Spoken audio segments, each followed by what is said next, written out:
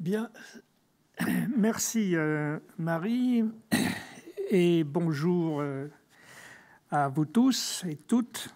Donc, euh, le thème que je vais développer aujourd'hui, c'est Paris, place de guerre, à l'époque de la Révolution et de l'Empire. Alors, pour bien appréhender cet objet, donc place de guerre, qu'est-ce qu'une place de guerre? D'abord, c'est l'équivalent d'une place forte c'est-à-dire un lieu matérialisé par une ceinture de murailles ou à défaut par des retranchements. On en reparlera.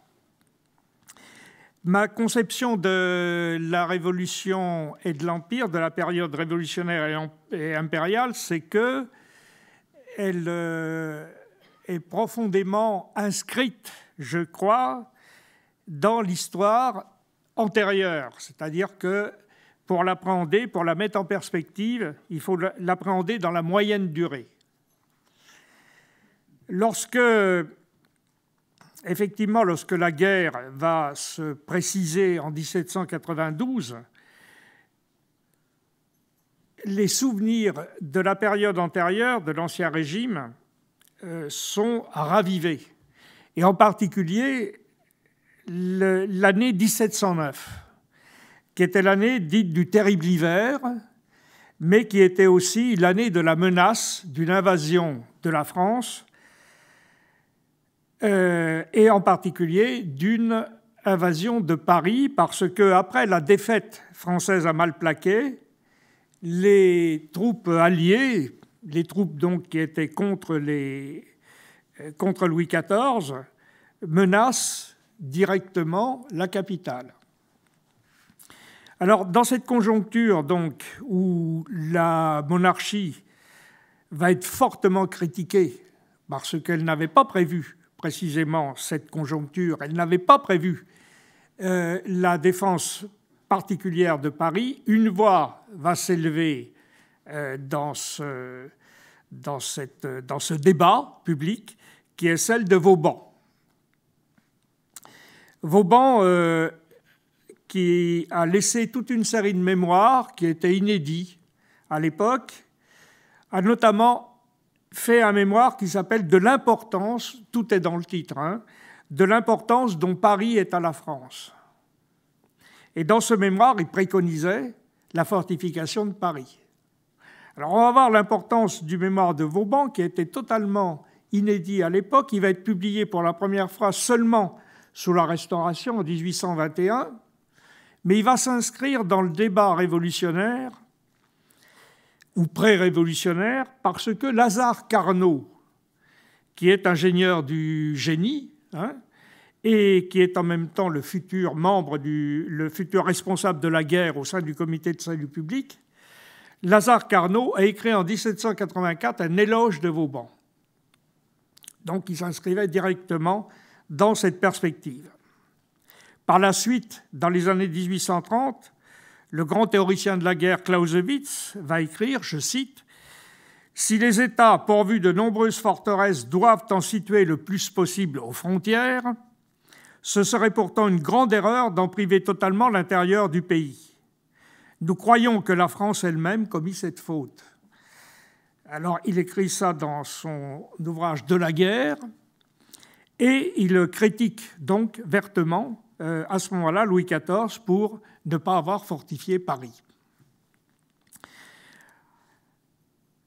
Non seulement de ne pas avoir fortifié Paris, mais d'avoir démantelé les murailles jusqu'à l'époque, euh, jusqu'en 1684 précisément, où l'ordonnance royale va demander la destruction des murailles de Paris qui avaient été édifiées pour la dernière fois sous Louis XIII. Paris devient une ville ouverte. Hein, c'est-à-dire que là où il y avait des murailles, on va installer des grands boulevards. Non seulement à Paris, bien sûr, mais dans la plupart des grandes villes de France. C'est euh, précisément ce que Clausewitz critique, cette euh, démolition des protections fortifiées. Alors, donc, on est dans cette conjoncture de l'été 1792, qui est une conjoncture menaçante, de nouveau, pour la France. La guerre a été déclarée en avril, et on est de nouveau dans une conjoncture extrêmement menaçante, puisque les forteresses de l'Est, du Nord-Est, sont tombées les unes après les autres aux mains des Prussiens, Verdun, Thionville, Longwy, et après, il y a le massif de l'Argonne, et après le massif de l'Argonne, on débouche sur la route de Chalon-sur-Marne, euh, et c'est la route de la capitale. Donc on est dans ce contexte euh, menaçant, euh, en septembre 1792, qui est plus connu pour l'enrôlement des volontaires à Paris. Donc il y a une série de mobilisations populaires qui se font. Soit représentés par des gravures, soit représentés par des tableaux, comme ici, où euh, on peut voir déjà dans le décor néoclassique derrière que c'est une sorte de perspective de la cité idéalisée. J'y reviendrai ultérieurement. Alors, le ministre de la Guerre, Servant,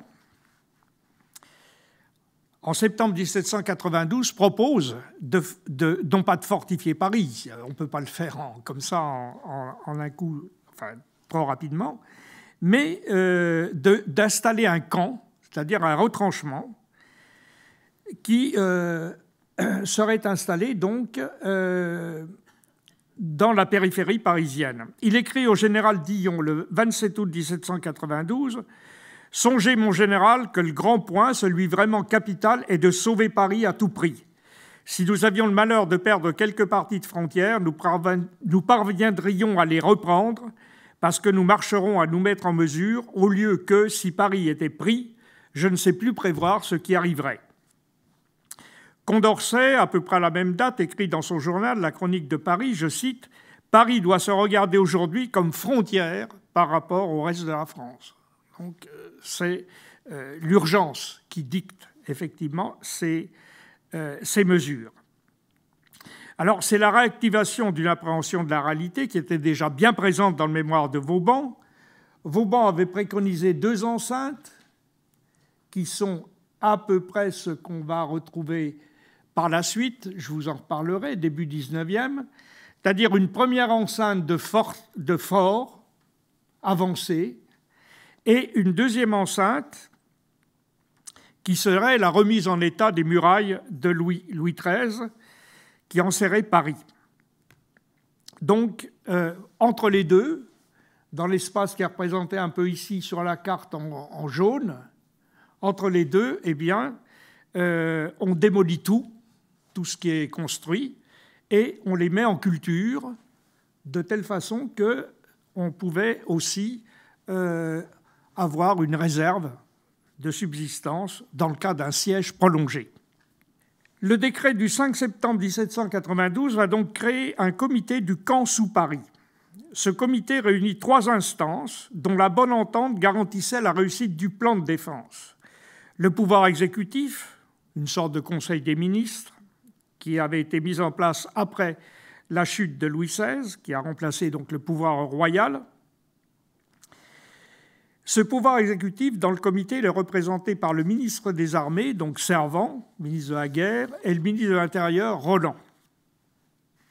À ses côtés, le pouvoir législatif, donc l'Assemblée nationale, l'Assemblée législative, qui est représentée par trois commissaires, et le pouvoir communal, c'est-à-dire la Commune de Paris, qui est une euh, instance, une entité insurrectionnelle qui s'est installée avec la chute de, la royauté et qui est également représenté par trois commissaires. Le directeur des travaux est Alexandre Pierre de Belair. Il a à ses côtés un général, le général Berruyer. Mais les deux hommes, euh, si vous voulez, quand on regarde les archives du, camp, euh, on s'aperçoit que les deux hommes ne s'entendent pas et en particulier, n'arrêtent pas de se jeter dans les pattes l'un de l'autre la responsabilité de la lenteur des travaux. Les travaux ne vont jamais assez vite et c'est toujours la faute de soit du militaire pour le civil, soit du civil pour le militaire. Donc on a un vaste chantier. Il y, a très très peu de représentation de ce qu'était ce camp sous Paris. C'est l'une des, rares représentations qu'on a au musée Carnavalet ici, qui euh, montre euh, le camp, c'est-à-dire le, chantier qui est à peu près au centre, là où il y a les tentes, et puis les travaux de, retranchement donc, qui sont installés euh, au, pied de la butte Montmartre. Alors, c'est un chantier très vaste qui a été fractionné en 48 postes. Les postes, c'est à peu près là où il y a les tentes. Chaque poste correspond à 48 sections. Les sections parisiennes sont donc la marque du pouvoir révolutionnaire. C'est depuis l'époque révolutionnaire que euh, Paris a été divisé donc en 48 sections. Alors, le but de cette correspondance était de façon à ce que chacune des sections soit bien impliquée dans la défense de Paris. Évidemment, l'intention est politique, puisqu'il faut faire le lien entre la conscience civique et la défense nationale, entre la démocratie communale que veut représenter la Commune de Paris et le salut de la patrie. Un député, donc un représentant, Mathieu Dumas, déclare le 13 septembre 1792, je cite, Il n'y a pas en effet de meilleure manière d'accélérer et de perfectionner à chaque fois les travaux que d'assigner un poste à chaque section. Il s'agit d'occuper une chaîne de postes excellents et que la nature semble avoir préparé pour la défense de cette ville. Eh bien, établissez l'émulation entre les sections, et vous verrez chacune d'elles perfectionner d'une manière étonnante sa défense locale. Voilà donc l'idéal. Les sections vont envoyer également des gardes nationaux qui sont affectés au maintien de l'ordre dans, dans chacun des postes déterminés. Pour les travaux, les officiers du génie, sous les ordres de Bel vont être mobilisés pour construire ces terrassements. En fait, ça, c'est l'idéal une belle harmonie préétablie. Une vaste machine au rouage bien huilé qui devait en peu de temps donc assurer la défense de Paris. Mais ça va se gripper assez rapidement. Les ouvriers, quand ils sont sur place, donc quand ils ont été envoyés par leur section, ils ne vont pas respecter leur affectation. Euh, ils vont rechercher le domicile le plus proche. Ils vont rechercher le chantier qui est le plus proche de leur domicile ce qui fait qu'on a des postes qui vont être surpeuplés, là où déjà la population est la plus dense, et par contre des postes quasiment désertés. Et euh, le, drame, c'est que ces postes désertés, c'était souvent sous la, enfin, c'était souvent dans les, secteurs qui étaient les plus menacés dans le cas de l'invasion. Le Conseil général de la commune s'inquiète de la situation le 20 septembre, je cite, le Conseil général de la commune ne croit pas devoir laisser votre patriotisme dans l'oisiveté. Vos mains ne dédaignent pas de concourir avec les citoyens au salut de la patrie. Des tentes sont nécessaires pour le camp sous Paris. Ces tentes ne sont pas encore faites, le temps presse. Vous refuseriez-vous à hâter la sûreté de la capitale? C'est aux citoyens qu'il est réservé de vous défendre, c'est à vous que nous réservons le glorieux avantage d'y participer. Hâtez-vous de vous rendre dans nos églises, allez-y travailler aux effets de campement. Les églises sont réquisitionnées pour servir d'atelier pour la confection du matériel. C'est un moyen de servir efficacement la patrie, d'anoblir le travail de vos mains et de contribuer avec nous au salut public. Donc le Conseil général de la commune trouve que ça va trop lentement et en plus que les ouvriers ont tendance à en prendre un peu à leur aise, comme ils sont proches de leur domicile, donc de rentrer beaucoup trop facilement chez eux et de ne pas respecter les plans de travail, les plans de travaux. D'autant plus que les ouvriers comme les volontaires, quand ils sont partis à l'armée en 92, c'est une marque de s'élever de 92, ils ont amené avec eux leurs femmes et leurs enfants. On fait la guerre en famille. Une foule encombre les chantiers, donc une foule qui n'est pas forcément une foule mobilisée pour les travaux. Elle empêche l'avancée même des travaux. Le 26 septembre, on interdit aux femmes et aux enfants de moins de 15 ans de travailler au chantier du camp sous Paris. On a alors une ligne de retranchement qui est installée depuis Saint-Denis jusqu'à Nogent-sur-Marne. Donc, depuis le nord de Paris, Saint-Denis, jusque Nogent-sur-Marne, qui est à l'est, au sud-est. Euh, tourner, vous voyez bien, hein, c'est logique, c'est tourner vers la route de l'invasion qui vient de la Champagne, théoriquement. En même temps, on a des camps encore plus avancés que Paris qui sont installés à Chalon-sur-Marne, à Meaux, à Soissons.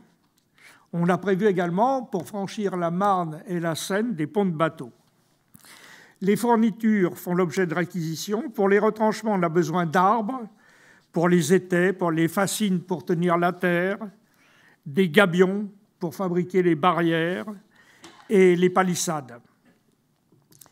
Berrurier, à l'époque, a demandé donc de faire l'abattage des arbres qui bordent les grandes routes sur un rayon d'une lieue, 4 km autour de Paris, et de pratiquer des coupes sombres, des coupes euh, sombres, des coupes claires, c'est-à-dire un abattage complet, euh, dans les bois de Boulogne et de Vincennes ainsi que d'abattre les murs qui entouraient à ce moment-là les bois.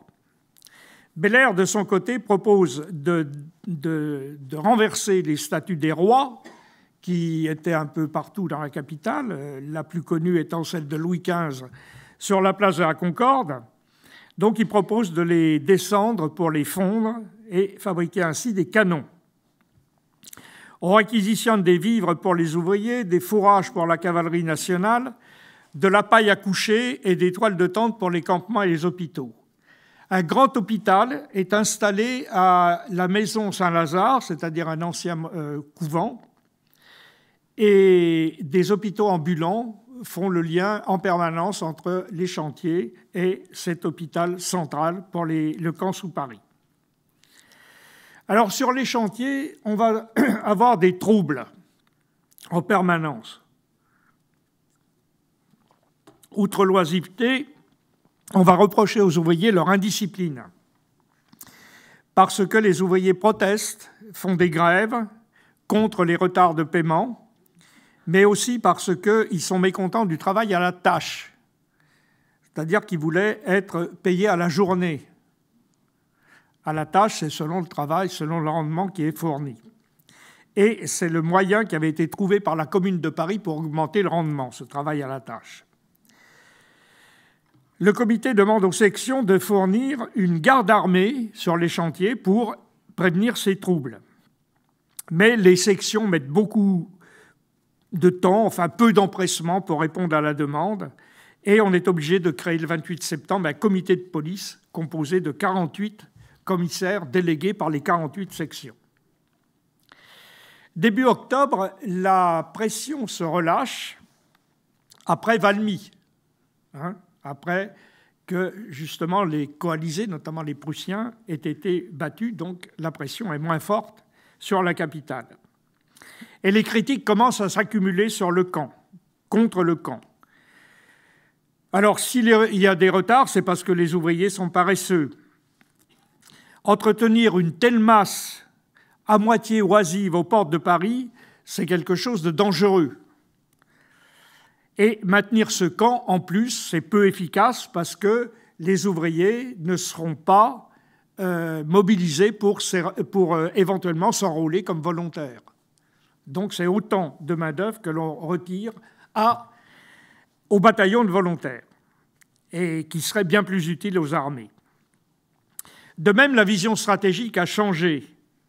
Le député Kersin, par exemple, député girondin, estime que se retrancher dans Paris, c'est plus une mesure de sauvegarde, puisque maintenant la France n'est plus dans Paris. Vous le savez, elle est dans tous les départements, dans toutes les cités de la République. Donc euh, Paris devient beaucoup moins central à défendre. Le 18 octobre, un décret va fixer la fermeture des chantiers au samedi 20 octobre. Donc euh, le camp sous Paris, vous voyez, a duré finalement très peu de temps, un mois et demi. Alors on va en avoir des traces malgré tout, même si le projet de camp sous Paris est finalement terminé, euh, avorté, on peut dire. Les mesures qui furent prises à ce moment-là vont inspirer le décret dit de la levée en masse un an plus tard, le 23 août 1793. Alors on l'appelle le décret de levée en masse, en fait c'est plutôt un décret de réquisition des hommes et du matériel. En effet, la conjoncture devient de nouveau menaçante après la défaite de Nervinden en mars 1793 et le territoire national est de nouveau menacé, mais menacé aux frontières, pas encore directement sous Paris comme il l'était en 92. Néanmoins, l'exemple de 92 va servir à ce moment-là. Pour les fournitures de guerre, les forges prolifèrent partout dans Paris. On construit des forges pour les canons, pour les pics, pour les, pour, les, pour les armes. Tout l'espace urbain devient une grande manufacture. Carnot fait un rapport en novembre 1793, par exemple, qui, sans nationaliser l'économie, déclare que les ateliers privés doivent passer prioritairement des contrats avec l'État et que la, la, production de ces ateliers, qui étaient donc euh, tournés vers le civil, doit être maintenant tournée vers les fournitures militaires. La production des fusils et des canons se concentre plus particulièrement dans trois endroits. Le jardin du Luxembourg, transformé en une grande manufacture, la place de l'indivisibilité, qui est l'ancienne place royale, actuellement la place des Vosges, et l'esplanade des Invalides. Évidemment, cette branche de l'activité industrielle est stratégique et nécessite donc un contrôle très très strict de la production. Euh, il ne s'agit pas de laisser partir les fusils dans la nature. Hein. vous voyez le problème que ça pouvait poser. Donc les civils et les militaires se disputent ce contrôle et le comité de salut public arbitre en faveur des civils. Paris devient le premier arsenal de la France. Carnot, toujours lui, a fixé un objectif de 1000 fusils par jour. Paris va voir dans peu de jours une manufacture immense d'armes de tout genre s'élever dans son sein, je cite Carnot, le Paris de la République va devenir l'arsenal de la France. Les maisons euh, qui ont été nationalisées, les couvents, les hôtels particuliers des nobles émigrés, certaines églises, vont euh, devoir euh, installer des ateliers. J'en ai parlé tout à l'heure. Les artisans et les ouvriers spécialisés, comme les charpentiers, les architectes, les cordonniers, les sabotiers, les boulangers, etc., etc., sont réquisitionnés. 633 ouvriers travaillent dans une manufacture pour la fabrication des fusils. Les femmes également sont mobilisées, contrairement à la partie précédente où, à l'époque précédente, on les considérait un peu comme des troubles faits, ou tout au moins des, des personnes indésirables sur le lieu de la production. Les femmes sont, euh, sont employées, 3500 donc femmes, sont employés dans les, ateliers pour fabriquer euh, des, armes, mais aussi des, vêtements, des souliers en particulier, qui manquaient beaucoup pour les soldats. On met en réquisition toutes les armes, les fusils comme les armes blanches que l'on trouve sur la place de Paris. Alors, on les répare dans un premier temps et elles servent de modèle dans un deuxième temps. À côté des forges, il y a des centres d'enseignement c'est-à-dire sur les trois places que je vous citais, Invalides, Place des Vosges et Jardin du Luxembourg, on trouve des centres d'enseignement technique. On demande aux ouvriers des manufactures de province, Saint-Étienne, Charleville, Tulle, Autun, Moulins, Clermont-Ferrand, donc euh, ces manufactures de province, de venir à Paris pour servir d'instructeurs, pour montrer comment faire aux ouvriers parisiens. Le précédent de septembre 1792, là aussi, est, dans l'esprit des dirigeants, puisque, à l'époque du camp sous Paris, on avait demandé aux ouvriers qui travaillaient sur le canal de Bourgogne, et plus encore sur le canal du Charolais, qui est l'actuel canal du centre, de venir à Paris pour servir d'instructeurs sur les chantiers de terrassement. Évidemment, vous voyez la proximité qu'il peut y avoir entre un terrassement euh, pour la défense et un terrassement pour construire un canal. À partir de février 1794, sous l'égide de la Commission des poudres et salpêtres, les cours se généralisent. Les chimistes les plus renommés viennent au Muséum du Jardin des Plantes pour dispenser un cours sur la récolte du salpêtre et la transformation du salpêtre en poudre blanche. On trouve là Guiton Morveau, Fourcroy, Berthollet, Dufourny, Carny, Pluvinet, donc des noms euh, extrêmement importants dans le domaine de la chimie. Euh, sur l'île de la Cité, dans l'ancien bâtiment de l'évêché, devenu la salle des électeurs, c'est deux autres euh, savants, Assenfratz et Monge, qui donnent des cours publics, c'est-à-dire en plein air, euh, ou bien dans la salle des électeurs à l'évêché quand le temps ne le permet pas, et qui dispensent des cours directs sur la fabrication des canons.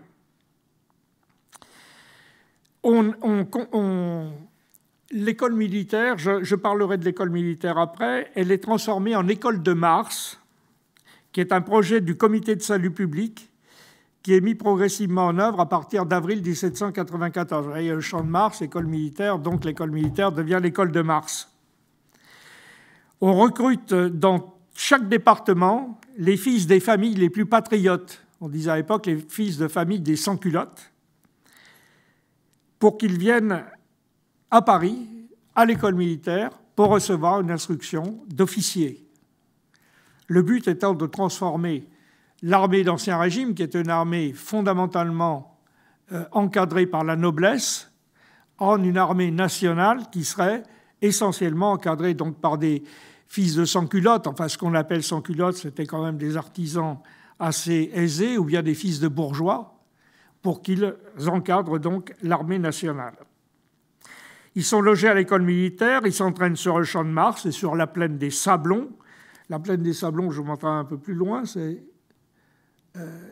ça se trouve sur la rive droite, l'endroit qui est actuellement vers la porte de Saint-Cloud, vous voyez, autour de cette. Euh, jusqu'à Neuilly. Donc, euh, l'école de Mars donc, est installée à l'école militaire. Elle est fondue par la suite euh, dans l'école polytechnique. Novembre 1794, l'école de Mars va être transformée, donc plus ou moins avec d'autres écoles d'ailleurs, en école polytechnique sur la, euh, sur la montagne Sainte-Geneviève. Alors tout ça, euh, cette euh, militarisation parisienne, en même temps cette industrialisation de Paris dans la foulée de la défense nationale, se termine nettement avec un épisode dramatique qui est l'explosion de la poudrerie de Grenelle le 14 fructidor en deux, soit 31 août 1794.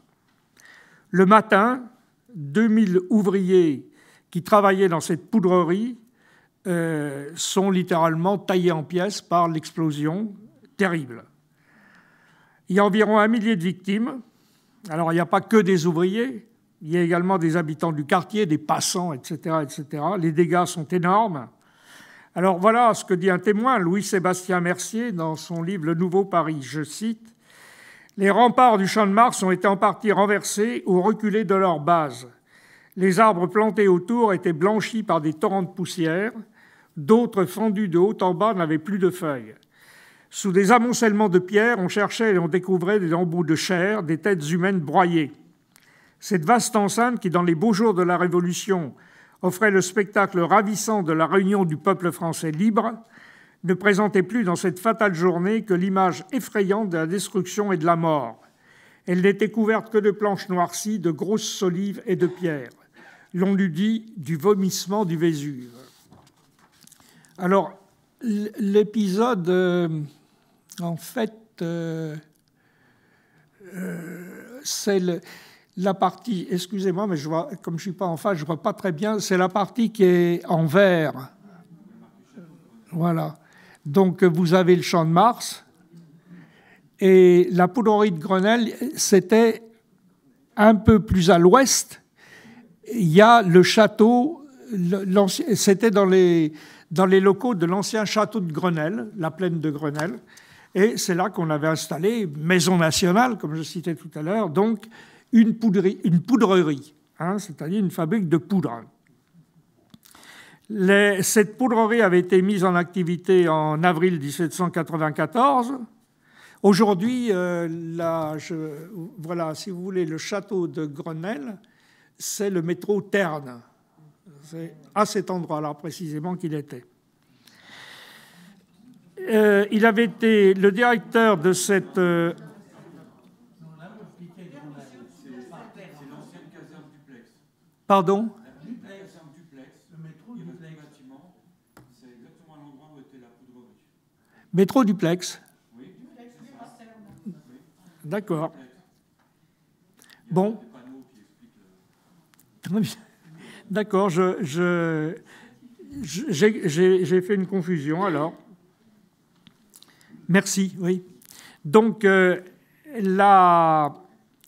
le, directeur de, la poudrerie, donc c'était le futur ministre de l'Intérieur Chaptal, qui est en même temps le directeur de l'Agence révolutionnaire des poudres et salpêtres. Et euh, dans l'opinion publique, cette explosion va avoir un grand retentissement, outre le caractère spectaculaire, parce qu'elle intervient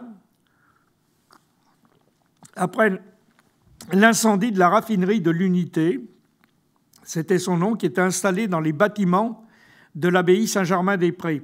Donc cette euh, raffinerie avait brûlé, avec aussi beaucoup de, beaucoup de dégâts. Dans l'ambiance très particulière de l'époque, je vous passe, il y a tout un débat. Euh, on évoque une piste terroriste. Alors pour les uns, ce sont les jacobins qui ont fait sauter la poudrerie.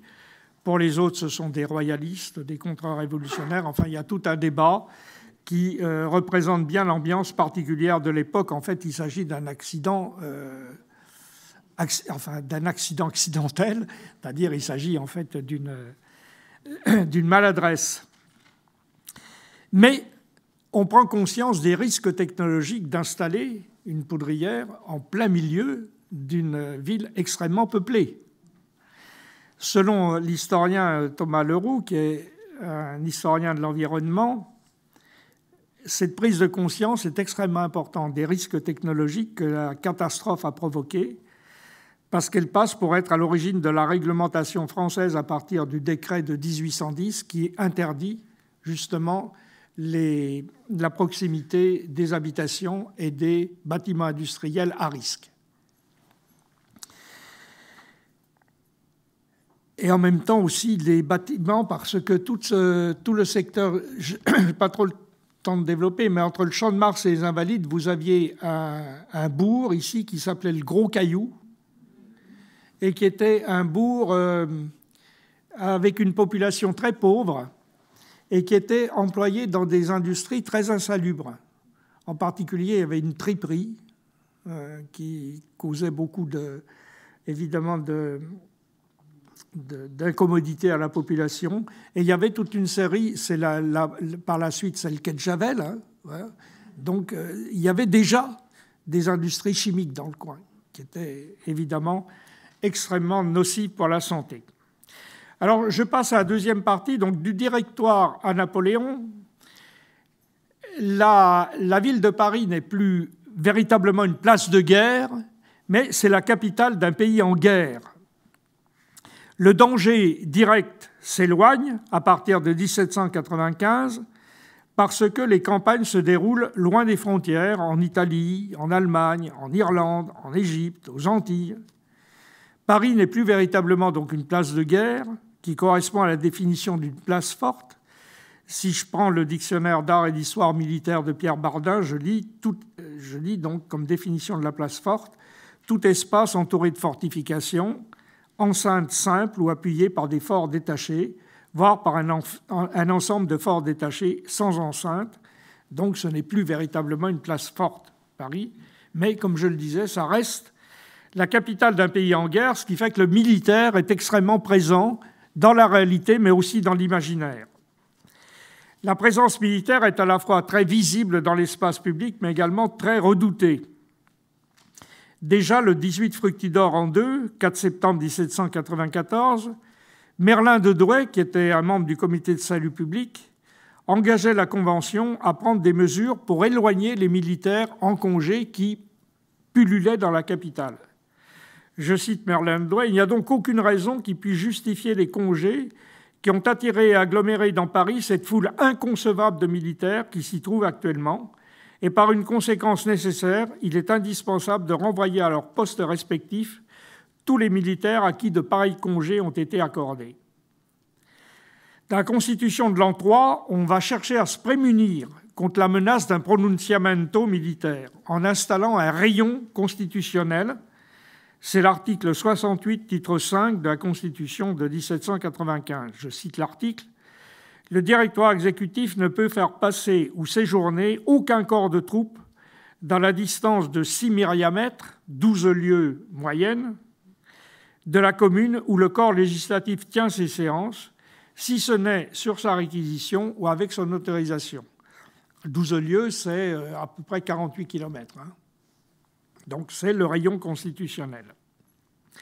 Toutefois, et malgré la surveillance policière, la présence des militaires à Paris, certes, souvent sans uniforme, donc en civil, mais avec un statut militaire, est constante. Officiers destitués, officiers placés à la suite sans solde ou admis à la retraite contre leur gré, tous font le siège du ministère de la Guerre qui est au Faubourg Saint-Germain. Ils essayent d'obtenir ainsi leur réintégration dans le service actif et évidemment les émoluments qui lui sont attribués. Certains vont même jusqu'à loger dans le voisinage immédiat du ministère afin d'être en permanence euh, en quête d'un commis de bureau ou d'un planton de service qui leur permettrait d'avoir accès aux services du ministère. En effet, les épurations furent nombreuses aucune toutefois n'eut l'ampleur de la réforme Aubry en mai 1795. Le 25 prairial en 3, Aubry est un député euh, très conservateur, crypto-royaliste, qui avait donc entrepris une gigantesque réforme militaire donc à moment de la Convention thermidorienne. Alors elle avait des motifs politiques, cette euh, réforme.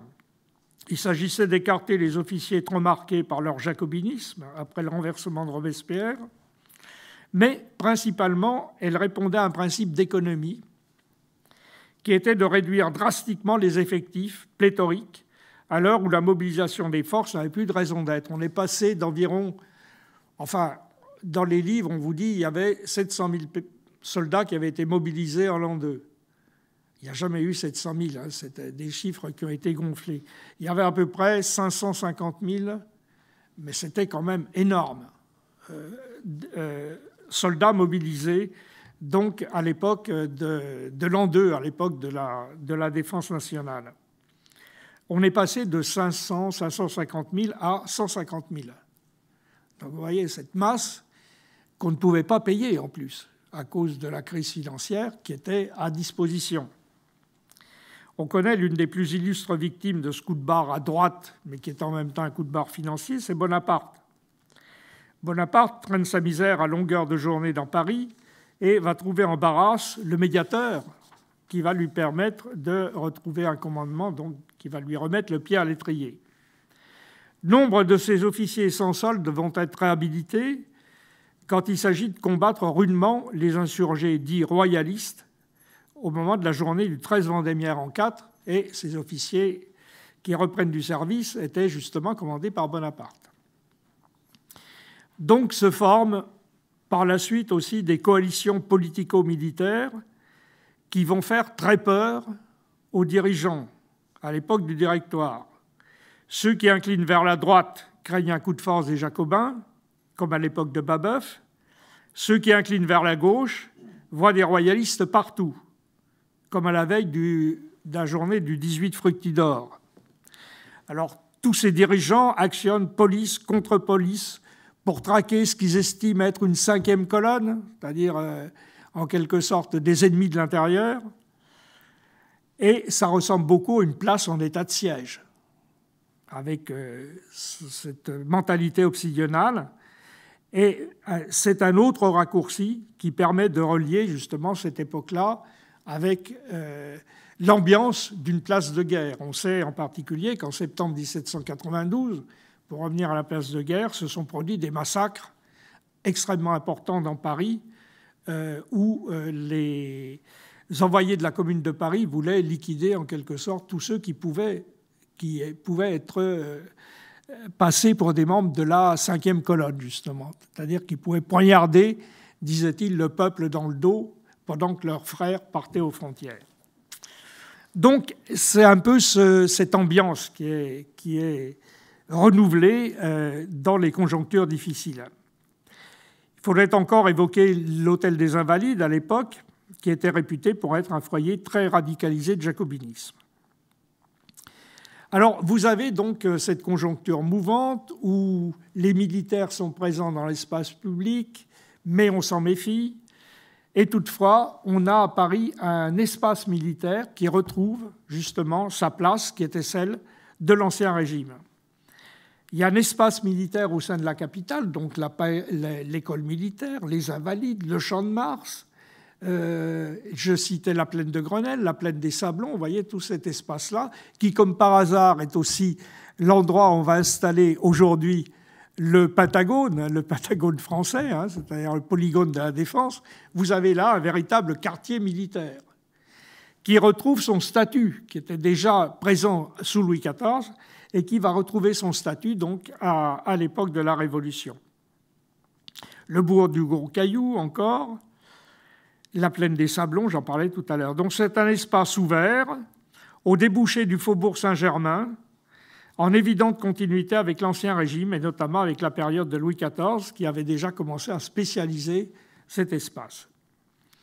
Le champ de Mars servait originellement aux exercices des élèves officiers de l'école militaire. L'école militaire donc a un statut indéterminé depuis 1788 ces locaux ont été affectés à partir de 1792, d'une partie à des escadrons de cavalerie, une partie à des, élèves donc, de l'école de Mars. Les terrains d'exercice se sont élargis au Sablon, à la plaine de Grenelle. On parle d'un camp de Grenelle euh, installé également donc, dans cet espace. Le champ de Mars, proprement dit, sert aux démonstrations d'artillerie il avait connu son heure de gloire révolutionnaire lors de la fête de la Fédération. Euh, voilà, donc le Champ de Mars, à l'endroit au fond où est l'hôtel de, la patrie, euh, vous avez maintenant la Tour Eiffel, par exemple, voilà, pour vous situer. Donc la fête de la Fédération en 1790.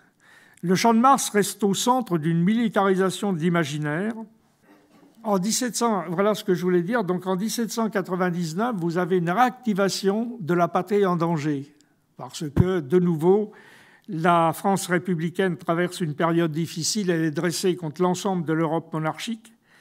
Et alors, il y a une représentation qui, qui apparemment n'est pas passée dans mes, dans, mes, dans mes images, qui est une représentation donc, de la patrie en danger, qui est où la, ville de Paris ressemble donc à une ville antique, une cité assiégée. Donc vous avez un imaginaire militaire à ce moment-là qui s'apparente à l'Antiquité. La citoyenneté est fortement assimilée justement à une citoyenneté en armes. Et, et c'est une caractéristique donc que l'on trouvait déjà en 1792. Euh, donc, comme je n'ai pas l'image, j'ai passé assez vite.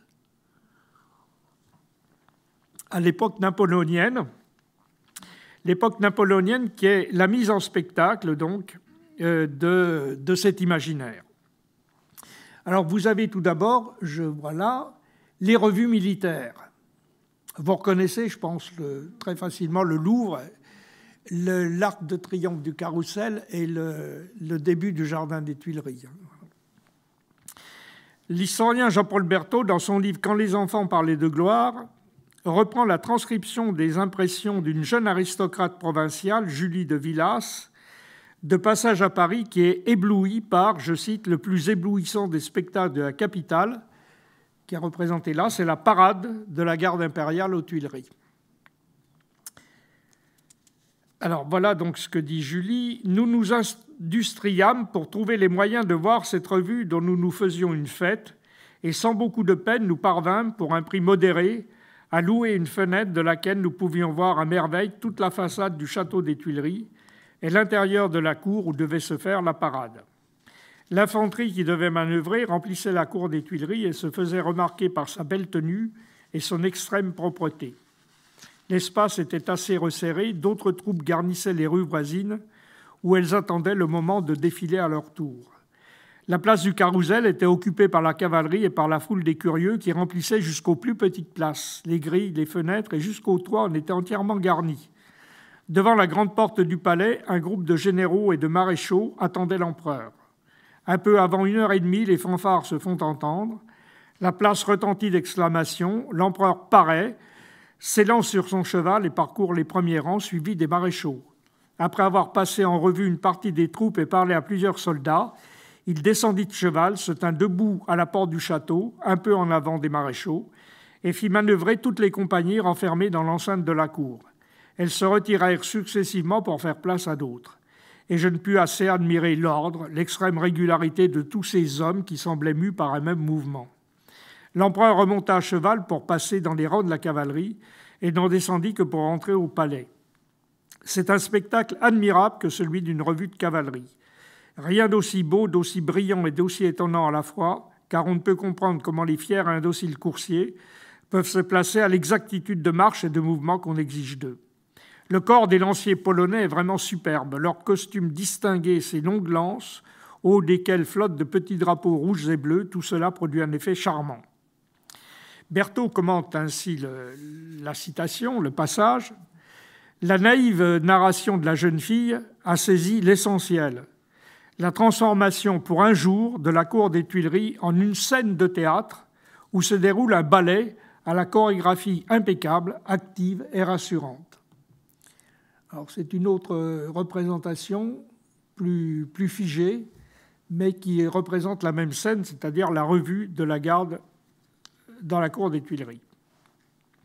La force armée et le César qui la dirige y déroulent le spectacle de leur triomphe avec un souci du détail propre à toucher la sensibilité des spectateurs et à nourrir leur imagination. Donc on retrouve à cette occasion l'imaginaire public militarisé, qui est un héritage euh, bon, de, la période pour la, longue durée, cette fois-là, puisque c'est l'origine, en quelque sorte, de nos, revues militaires du 14 juillet. D'autres indices, d'ailleurs, émaillent cet imaginaire militarisé, puisque Napoléon avait voulu, là aussi, faire de Paris euh, une scène de théâtre pour mettre en scène l'épopée napoléonienne, euh, donc l'épopée de ses victoires. On pense bien sûr à la colonne Vendôme, mais aussi au statut des généraux qui étaient morts pour la patrie, comme l'immense statue de, de du général Désay, mort à Marengo, mais représenté en colosse sur la place des Victoires, ou bien aussi le quai de Montebello, qui était jalonné de statues, Montebello faisant référence à la mort du, maréchal, du général Lannes. On pourrait multiplier les exemples et à toute une série donc d'exemples de cette mémoire militaire euh, qui jalonne le paysage parisien dans le livre Danny Jourdan sur, euh, sur le Napoléon, empereur et mécène. Alors, la, l'imprégnation également de la vie euh, particulière, de la vie parisienne par les, nouvelles, par euh, les, nouvelles de la Grande Armée, euh, ont été bien saisies par le peintre Louis-Léopold de Boilly, dont je vais vous passer deux tableaux. Le premier, c'est la lecture du bulletin de la 7e armée, qui est une lecture, vous voyez, familiale dans un intérieur, le bulletin de la 7e armée était celui de la capitulation d'Ulm qui allait ouvrir la voie à la victoire d'Austerlitz. Autre euh, tableau du peintre Louis-Léopold de Boilly, c'est le départ des conscrits de 1807 sous l'arc de triomphe de, de la porte Saint-Denis. Alors évidemment, vous voyez comment les, la perspective est totalement, euh, totalement faussée, puisque l'Arc de Triomphe paraît quelque chose d'absolument gigantesque, les personnages tout petits, et si vous voyez cet Arc de Triomphe encore aujourd'hui, euh, ça n'a pas du tout ces proportions. Alors c'est une scène euh, qui, évoque donc le, départ des, jeunes, des jeunes hommes des jeunes Parisiens pour la caserne, la caserne de Courbevoie, qui était la caserne où on recevait les conscrits avant leur affectation au régiment et en même temps où euh, ils recevaient leur première instruction. Alors, la foule est plus retenue, moins enthousiaste que, que sur la, la gravure de la revue de la garde, mais elle n'est pas dépourvue malgré toute ferveur patriotique. Alors si on prenait par exemple une même gravure, on n'en a pas, mais si on la plaçait à l'époque de 1813, à l'époque des Marie-Louise, le, spectacle n'était pas du tout le même, puisque à ce moment-là, en 1813, le départ des conscrits euh, se faisait dans une ambiance funèbre. Hein. donc à la chute de Napoléon, pas à la chute de Napoléon, mais au retour de la campagne de Russie, l'ambiance publique avait totalement changé. En 1807, la ponction euh, sur la population faite par le service militaire était encore relativement acceptable par la population. Alors, j'en arrive à 1814. 1814, épisode suivant, c'est la barrière de Clichy, peinte par Horace Vernet, qui se situe à la fin de la campagne de France, au printemps 1814. Tandis que le 20 mars, Napoléon est bloqué du côté de la Champagne, vers Vitry-le-François, et que les armées prussiennes de Blücher et autrichiennes de Schwarzenberg convergent sur la plaine de Chalon, c'est-à-dire l'endroit précisément où aurait pu se produire l'invasion de Valmy, l'état-major allié décide d'attaquer directement Paris. Les horizons du combat sont identiques à ce qu'ils étaient en septembre 92, donc, mais la configuration politico-militaire n'est plus la même puisque Paris n'a pas été mis en état de défense. La grande armée des Alliés se met en marche sur trois colonnes par la rive droite de la Marne, qu'elle franchisse à Meaux et à Lagny. Le tsar Alexandre Ier et Frédéric Guillaume de Prusse installent leur quartier général à Bondy, à l'est, au nord-est. L'attaque se produit le 30 mars par l'armée autrichienne à l'est, qui lance les troupes sur Pantin et Romainville, et par l'armée prussienne au nord-ouest, qui lance les troupes sur Clichy et Montmartre. Les combats sont particulièrement durs à la barrière de Clichy, que vous voyez représentée ici. Donc, la barrière est défendue par le maréchal Moncey, qui est sur son cheval au centre. Moncey commande la garde nationale, qui est composée de 1000 hommes, des soldats invalides, des élèves des écoles polytechniques de la montagne Sainte-Geneviève, dont je parlais tout à l'heure, et de l'école vétérinaire également de Maison-Alfort, des jeunes patriotes sans expérience qui sont venus aussi là, mais ces mille hommes vont tenir en respect, c'est effectivement un fait d'armes héroïque puisqu'ils tiennent en respect 30 000 Prussiens. Ils vont se battre toute la journée du 30 mars. Horace Vernet, donc peintre militaire, représente cette résistance héroïque qui va tenir jusqu'à l'armistice du 31 mars, du lendemain. Alors, sur la gravure, on reconnaît le bâtiment de l'octroi que vous avez sur la gauche, qui est un bâtiment de Claude Nicolas Ledoux, et qui était des bâtiments qui émaillaient, il y en a encore d'enfer, hein, je crois, aujourd'hui, qui émaillaient, le, qui émaillaient justement la périphérie de la capitale. Bâtiment à péristyle dans le style néoclassique. Alors, barrière de Clichy, je crois que la suivante, voilà. On le voit mieux par euh, temps calme, si on peut dire. Euh, le bâtiment, qui est un beau bâtiment à péristyle, à colonne, et puis devant l'espace extrêmement dégagé qui est l'entrée dans Paris. Les négociations s'ouvrent dans la soirée et Marmont, qui est le gouverneur de Paris, capitule dans la nuit.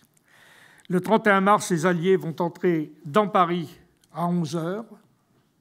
Voilà l'entrée des Russes dans Paris, qui ont fait une impression considérable, évidemment, parce que les, Russes à Paris, euh, après la campagne de Russie, le renversement, et puis surtout l'épisode des bivouacs installés sur les Champs-Élysées par les Cosaques.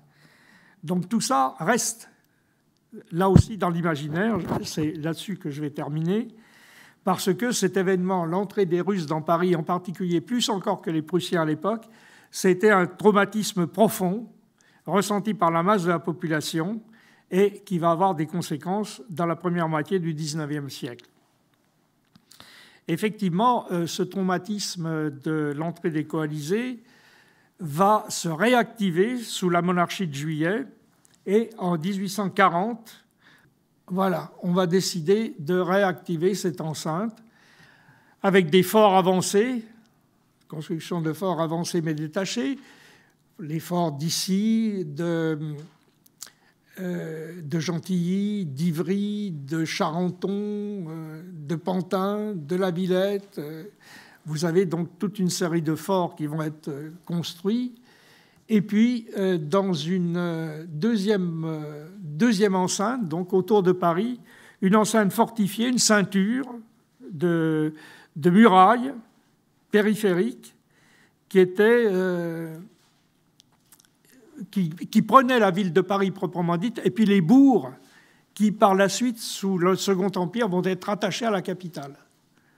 Donc, c'est aujourd'hui la, place de cette muraille, c'est aujourd'hui le périphérique. Hein. Donc, la défense avancée permettait d'inclure les quartiers populaires, les banlieues les plus directes, dans une zone protégée.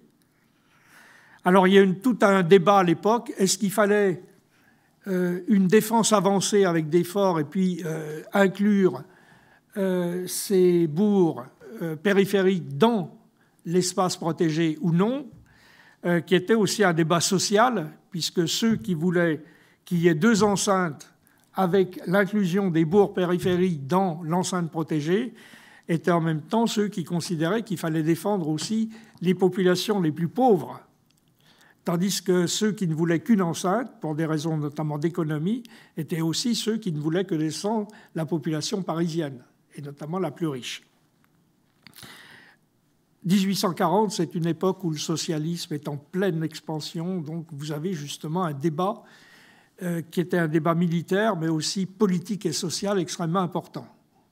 Alors, je n'ai pas le temps de trop développer, mais vous voyez de quoi je veux parler la critique des forts avancés était aussi une critique politique, parce qu'il y avait la crainte que le pouvoir ne se serve de, pour tenir en respect la population parisienne remuante.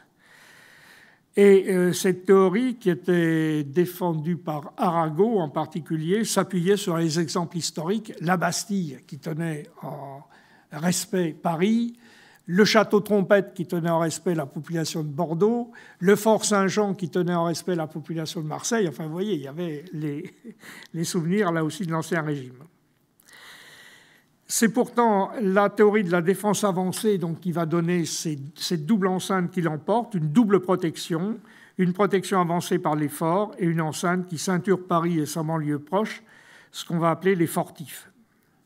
Alors, cette euh, double enceinte, et on retrouve, et je terminerai par là, on retrouve aussi Carnot, qui décidément est un peu un personnage qui nous accompagne tout au long de cette, euh, euh, de cette exposé sur Paris, place de guerre, puisque Carnot avait écrit en 1810 De la défense des places fortes, où il défendait l'expérience du camp sous Paris, demandait la fortification de Paris un peu sur ce modèle-là, et en même temps défendait l'expérience révolutionnaire, puisque en défendant le camp sous Paris, il défendait en même temps les mesures qui avaient été prises pour mettre Paris en état de défense.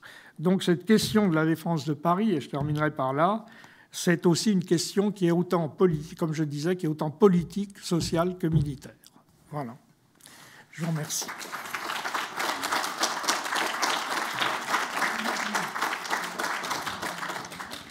Merci beaucoup. Avant de, passer la parole à la salle, je vais profiter euh, de cette conférence pour vous rappeler que le comité d'histoire et, euh, et, Bernard Guénaud a participé à nos réflexions, a créé un parcours révolution dans la ville de Paris que vous pouvez télécharger avec une application en allant sur le site Parcours Révolution ou en allant dans vos stores sur vos téléphones portables avec 16 promenades dans Paris sur l'histoire de la Révolution et 120 lieux d'intérêt où on retrouve un certain nombre euh, la poudrerie de Grenelle, euh, l'école de Mars, enfin un certain nombre des, lieux et des thèmes qui ont été abordés au cours de la conférence. Donc je vous invite, c'est gratuit, à télécharger l'application euh, sur vos téléphones ou à regarder sur votre ordinateur le site Parcours Révolution. La parole est à la salle hein, après cette petite publicité pour le comité d'histoire.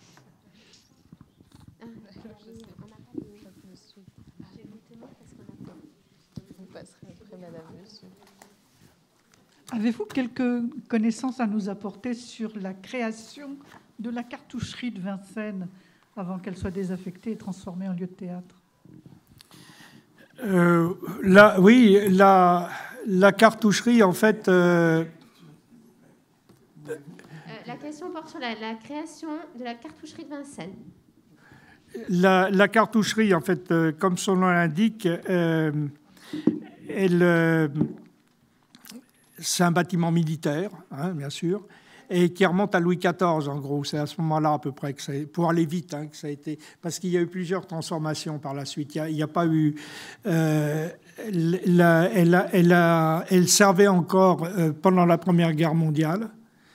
Et je crois que c'est dans l'entre-deux-guerres, entre mais à vérifier. Hein, je crois que c'est là où elle a été désaffectée. Donc vous voyez toute la période. Elle servait en particulier à l'époque de la Révolution, mais pour une fabrique, de fusils. Euh, oui, euh. Euh, oui, je souhaitais vous poser une question. à un moment donné, la question que je me pose, c'est est-ce que le fait d'avoir fait de Paris une place forte n'explique pas aussi la prise de pouvoir de Napoléon et à un moment donné, vous citez, je crois, un député de la Convention jacobin qui s'inquiète justement de la surpopulation militaire euh, au moment du campement. Oui, c'est Merlin Douai, oui. Voilà. Et, donc la question que je me posais, c'est est-ce que du coup, on n'a pas, euh, pourquoi les Jacobins en fait s'inquiétaient Enfin, est-ce que les Jacobins s'inquiétaient de la surmilitarisation de Paris en raison du fait qu'ils craignaient un coup d'État militaire contre eux? Et est-ce que ça, ça peut être lié à la politique de, de de créer des officiers sans culotte. Est-ce que cette politique a échoué? Et est-ce que c'est pas ça qui explique justement le. Est-ce que Napoléon faisait partie de, ces polytechniciens, enfin de sais pas si je suis très clair. Euh.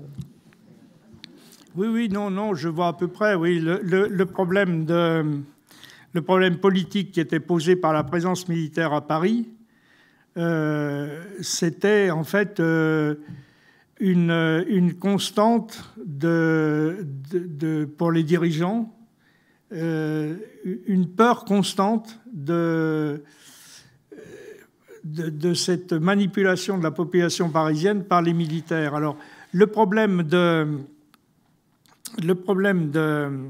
Napoléon, à l'époque, donc, il était pris un peu dans cette euh, population jacobine, hein, puisqu'il avait été écarté de son commandement rappelé de son commandement de, l'armée d'Italie à Paris parce qu'il euh, il était très lié avec le frère de Maximilien Robespierre, hein, qui avait été guillotiné. Donc, euh, vous avez cet aspect euh, qui est donc une sorte de menace considérée comme étant une menace multiforme de, ces, de ces officiers. Alors, le Napoléon qui est de 1795 et puis le Napoléon qui va euh, réapparaître euh, au moment du coup d'État, c'est pas du tout le même. Hein. Il a considérablement évolué et donc euh, c'est plus du tout un officier jacobin, c'est plus du tout un officier marginalisé et c'est plus du tout un train de misère. Donc il y a cet aspect-là.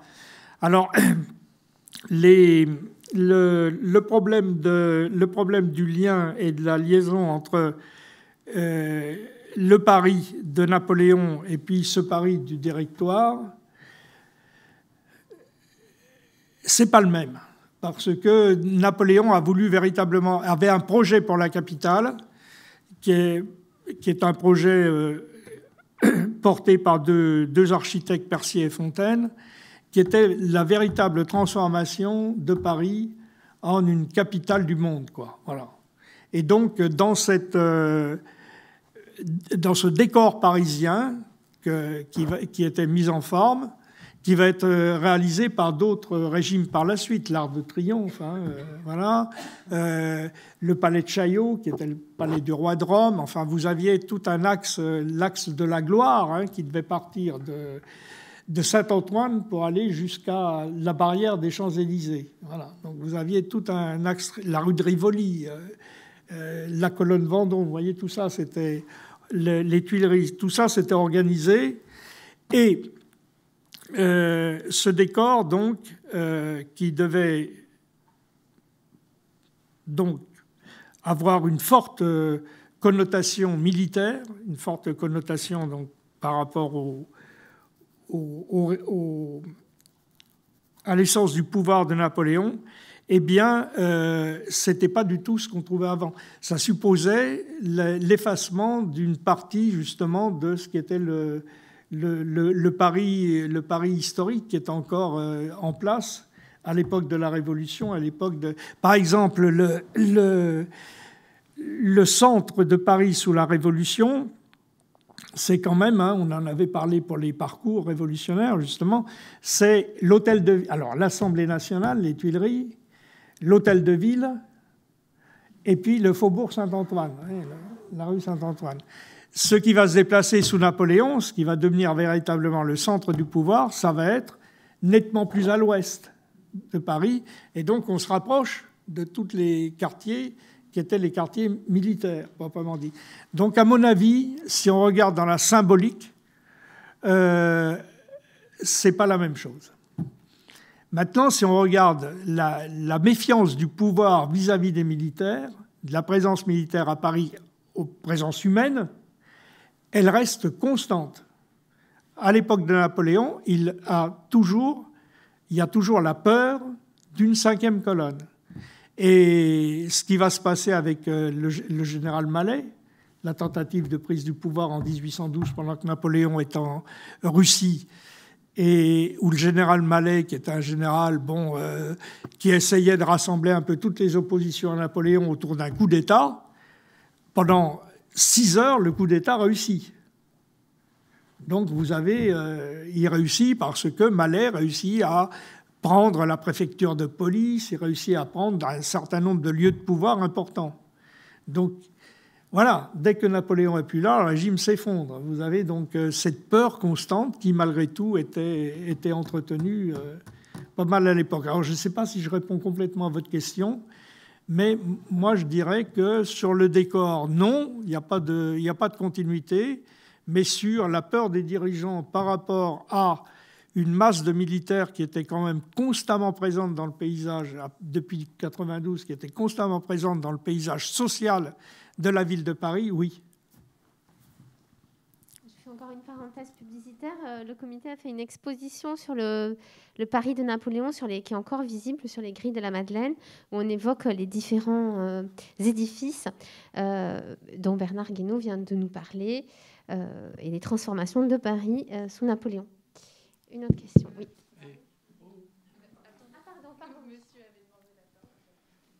Euh, vous venez de nous décrire effectivement ce qui a caractérisé euh, cet aspect militaire sous l'essentiel de l'Empire euh, et qui s'accompagnait du fait que dans la conception de Napoléon, les forteresses, c'était surtout en Europe, ailleurs, et c'était la défense avancée de l'Empire dans les pays conquis ou dans lesquels la, la France était présente. Mais au 100 jours, il en est allé tout autrement, parce que euh, Napoléon avait bien pris conscience de la faiblesse, ou plutôt de l'inexistence des défenses de Paris. Ça avait été euh, cruel pour lui, puisqu'il a bien compris que à 24 heures ou 36 heures ou 48 heures de défense possible, et donc de retranchement qui n'existait pas, les choses auraient pu changer en 1814. Et donc vous avez fait tout à fait l'impasse sur les tentatives de retranchement de 1815, lors des 100 jours, euh, qui ne correspondaient pas euh, finalement à, euh, à, ce que Napoléon a choisi. Il a choisi l'offensive, mais pendant toute une partie, le début des 100 jours, il a hésité entre deux positions, la position de l'offensive préventive qu'il a finalement choisie et la position de la défensive au niveau du pays lui-même et donc des retranchements de Paris. Et il a quand même ordonné toute une série de travaux, de mise en route de travaux pour essayer de faire un minimum de retranchement de Paris. Pouvez-vous nous en dire un mot?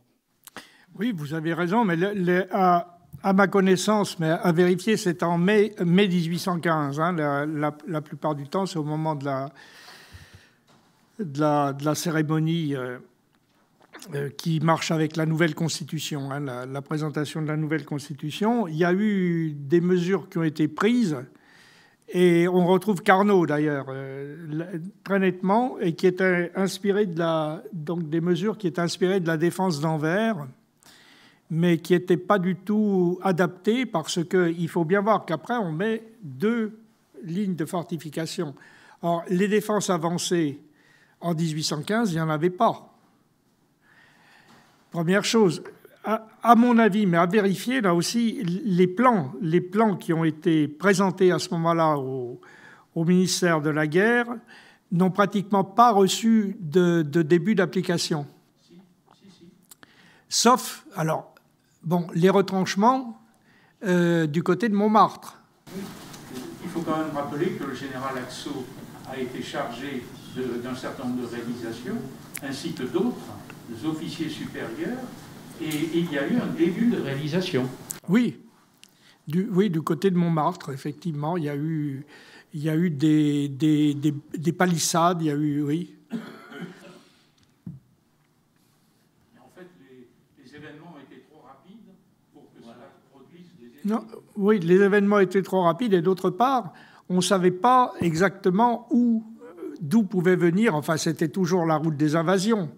Mais à ce moment-là, est-ce que le, front risquait de percer vers le nord, comme ça a été le cas, puisqu'il va se diriger vers la Belgique, etc., ou vers l'est? Donc on n'a pas eu le temps de mettre en place. alors vous allez me dire, en, 1800, en 1792, c'était du même ordre.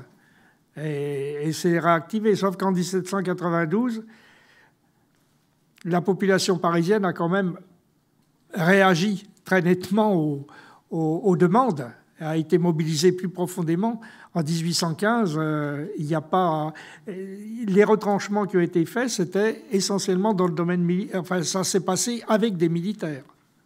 Il y a eu quand même 10 000 fédérés parisiens. Les fédérés, voilà, c'est ça. La garde nationale, quoi. La garde nationale, mais. Est-ce qu'il y a d'autres questions? Allez, madame. Oui, s'il vous plaît, monsieur.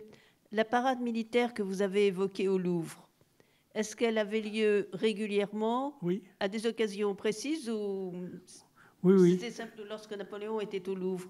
Oui, oui, elle avait lieu avec la Saint-Napoléon. ça devait être le 15 août, je crois. Donc euh, il y, y, avait, y avait ça, et puis il y avait également, à l'occasion des... Non, la revue régulière, c'était toujours avec la Saint-Napoléon. mais il pouvait y avoir d'autres défilés militaires à l'occasion des victoires. Pas d'autres questions? Bien, un grand merci. Euh, C'est moi.